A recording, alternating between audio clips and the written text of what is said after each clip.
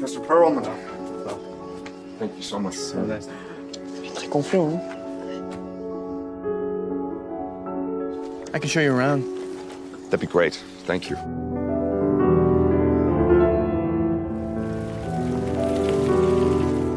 So, what do you do around here? Read books, transcribe music, swim at the river, go out at night. Sounds fun. All right, later. Sicuramente è meglio di quello dell'anno scorso. Eh. Just watch. This is how we'll say goodbye to us when the time comes. Later. Meanwhile, we'll have to put up with him for six long weeks.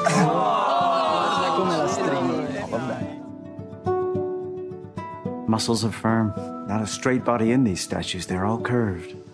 Sometimes impossibly curved, and so nonchalant, hence their ageless ambiguity, as if they're daring you to desire them. Oh, to see without my eyes. The first time that you give, Is there anything you don't know? boundless by the time I cry. You only knew how little I know about the things that matter. Build your walls around. What things that matter? White noise, what an awful sound. You know what things. Tumbling You road, saying what I think you're saying?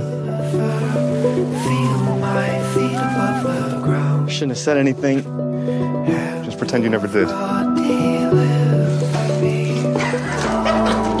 Nature has cunning ways of finding our weakest spot.